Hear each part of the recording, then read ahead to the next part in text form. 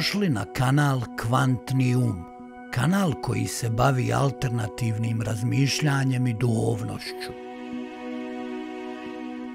Pogledajte svoje iskustvo upravo u ovome trenutku. Šta se dešava u ovome trenutku vašeg doživljaja sebe? Šta vidite? Vidjet ćete da postoji iskustvo onoga što se događa i drugi dio iskustva koji ne želi ono što se događa. Da li sam u pravu? Taj dio vas koji ne želi ono što se događa, želi nešto drugo, poput slobode ili sreće. Postoji ono što jeste, a postoji i dio koji kaže želim nešto drugo osim onoga što jeste. Zar to ne znači da ste podijeljeni? Ne znači li to da ste u sukobu sa samim sobom? Zar to ne znači da se postavljate protiv sebe? Dio vašeg uma suprostavlja se drugom dijelu vašeg uma. Taj dio vašeg uma koji se suprostavlja drugom mogao bi biti pun ideja i divnog duhovnog znanja koje kaže želim svoju suštinu, želim Boga i slobodu. To se zove duhovni materializam, koji je dualistička podijeljena perspektiva. Postoji rascijep u vašem umu, u vama samima. Postoji ono što je tamo, a postoji dio koji ne voli ono što postoji, koji želi nešto drugo. Kako ćete doći do harmonije, integracije, sreće i slobode, kada je u vama rat, kada se ponašate prema podjelama i sukobima? Kako može doći do ozdravljenja? Kako može biti harmonije u vama kada je jedan dio vas protiv drugoga? Moguće je, logično sagledajte to, pogledajte svoje iskustvo, za mnoge ljude u modernom svijetu i za gotovo sve misli koje se smatraju naučnim, dominantna orijentacija je materialistička. Kad se smatra da se duša doživljava kao ja, objektivan entitet, čiji je najtemeljniji identitet fizičko tijelo, mi smo dužni biti materijalisti, brinući se za materijalno blagostanje, bogatstvo i imanje, sigurnost i udobnost, više od unutrašnje dubine i punoće. Materializam je prirodno središnji filozofski položaj našega znanja, jer je naša nauka prije svega proučavanje materije. Čak i proučavanje života uključuje razmatranje isključivo materijalnih komponenti i fizičkih procesa. Ova orijentacija je zapravo logička nužnost za odvajanje kosmosa, svijeta od ostatka stvarnosti Jasno je da ako iskreno želimo poboljšanje rasprostranjenog materializma našega doba, moramo ne samo postati duhovni, naime povratiti svoju dušu, već ispoznati jedinstvo naše stvarnosti. A budući da nam je najbliži i najpristupačniji aspekt duše, sebe, moramo početi od toga Dakle, materializam nije samo stvar posjedovanja materialističkih vrijednosti. Materializam je uvjerenje da je fizički univerzum jedini univerzum i da je ono što opažamo čulima cijela stvarnost. Ako vjerujete samo u prirodne znanosti, postat ćete materialist. Neki oblici duhovnog treninga pokušavaju odvojiti svijest i percepciju od fizičkih kanala. Oni uključuju razvoj sposobnosti opažanja bez ograničenja samo na te kanale. To ne znači ne cijeniti ili ne vjerovati fizičkoj percepciji.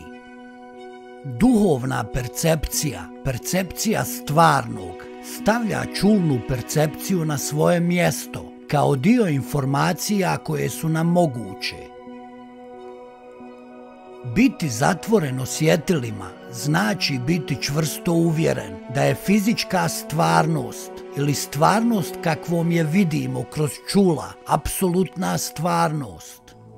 Zatvor je uvjerenje da je ta stvarnost najosnovnija, vječna, čvrsta stvarnost, najstvarnija.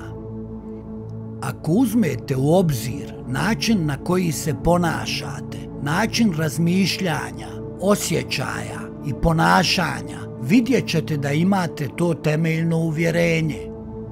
Ovo uvjerenje uveliko je pod uticajem načina na koji mislite o sebi i načina na koji živite svoj život. To je najjače uvjerenje u vašem umu. Čak i naša duhovna iskustva, percepcije transcendentnog ili bitnog, koji očito nisu fizički, ne potresaju ovo uvjerenje. Naše vjerovanje u temeljnost fizičke stvarnosti čvrsto je ukorijenjeno u našim dušama. U svakom autentičnom duhovnom dijelu ovo uvjerenje se na kraju mora suočiti, uzdrmati i ukloniti.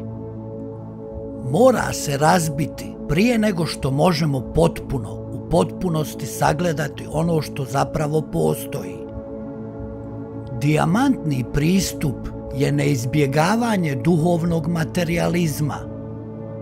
Dozvoljeno je isplivati na površinu, izaći na svjetlo svijesti. Zatim se vezanosti proučavaju i svačaju kao i sve druge karakteristike ličnosti. Zapravo, sama esencija će se pobrinuti da se to dogodi privrženost suštini ili nekim njenim aspektima ne može se zanemariti, posebno ne u dijamantskom pristupu. Ova vezanost će se prirodno otkriti kao kontraakcija ili ograničenje. Čistoća suštine i proces njenog širenja izložit će je kao takvu. Pojedinac neće moći biti vezan, još uvijek će slobodno doživljavati suštinu. Vezanost je ličnost i manifestovat će se kao sukob koji vodi u patnju. Zapravo, što se više suština manifestuje, to će ovaj sukob biti očigledniji. Esencija će otkriti privitke. Pojavit će se specifični bitni aspekti, čiji će poseban uticaj na pojedinca biti razotkrivanje ovih vezanosti. Pojavit će se i drugi bitniji aspekti koji će dati razumijevanje koje će posebno dovesti do neprivezanosti, do slobode od svih vezanosti. Zapravo, najdublji bitni aspekti ne mogu se spoznati i osloboditi bez bavljenja pitanjima vezanosti i duhovnog materializma. Međutim, ovo iskustvo nije dovoljno za potpuno rješavanje problema. Mnogi od vas su toga svjesni. Želja za ljubavlju, manipulacije oko nje mogu postati subtilniji, ali ne nestaju. To je zato što nemate implicitno razumijevanje niste pristupili svom iskustvu, ljubavi ili prostora ili bilo kojem drugom bitnom aspektu, volji, saosjećanju, zadovoljstvu iz perspektive implicitnog razumijevanja. Doživljavate suštinsku ljubav koja je slatka, intenzivna i ispunjava i kažete ovaj slatki osjećaj ljubavi je nešto najljepše što sam ikada osjetio. Ako nestane, neću je imati. Želim to zadržati zauvijek. Ko ovdje priča? Šta ste naučili? Imali ste iskustvo ljubavi, ali ta ljubav vas nije preobrazila. Tretirali ste je baš kao i svaki drugi objekt koja vaša ličnost želi. Ako imam svu ovu divnu ljubav, ljudi će vidjeti koliko sam blistav i pun ljubavi i pomislit će da sam divan, zaljubit će se u mene i živjet ću sretno do kraja života. Ništa se nije promijenilo. Ono što ste htjeli izvana, sada želite iznutra, kako biste to dobili izvana. Ovo nije implicitno razumijevanje. Ovo je materializam. Ranije ste htjeli vanjski materijal, sada želite unutrašnji materijal. Sve je isto materijalno. Ranije ste htjeli da sakupite novac, odjeću, ljubavnike. Sada želite prikupiti bitne aspekte, ljubav, radost, volju, snagu. To je ista stvar. Nismo baš nigdje išli. Tu smo gdje smo počeli. Cjelovitost je kada potpuno materijalni napori postanu potpuno duhovnog nastojanja u isto vrijeme. Percepcija ravnoteže i harmonije je jednostavna, zdravog razuma, vrlo praktična i prizemljena. To je istina koja stoji iza laži. Drugim riječima, istina je koju laž pokušava oponašati. Ličnost pokušava imitirati stvarni život, ali to čini pogrešno jer je odvojena od bića. Pokušava živjeti određenim životom, imati određenu vrstu posla, određena postignuća, određene odnose. To je dio stvarnoga života. Ali ličnost ne može to ispravno uraditi jer joj nedostaje element Uravnotežen život je život koji uključuje ljudske interakcije, ljudske odnose, rad, kreativnost, sve vrste aktivnosti i uživanja. Sve što je ličnost razvila, poput sporta, umjetnosti, književnosti, rekreacije, filozofije i nauke, sve su to istinske ljudske aktivnosti, ali je potrebno ispuniti ljudskom esencijom da bi bile stvarne. Istinski ljudski život nije život lišen ovih stvari. Ako živimo ono što radimo, možemo to učiniti na pravi način. Možete se vjenčati na pravi ili lažni način. Određeni posao možete raditi na pravi ili lažni način, a lažno je obično pokušaj da se to uradi na pravi način. No budući da nema potrebnog znanja i iskustva, osoba to ne može učiniti na pravi način. Ne slažem se sa uobičajenom duhovnom perspektivom da se morate odreći svoga života, živjeti jednostavno i zaboraviti na to da živite dobro i radite razne stvari u svom životu. Nije istina, možete biti uspješni, Možete živjeti na udoban način, možete živjeti profinjeno, uživati u dobrim stvarima na zemlji i još uvijek biti 100% duhovan.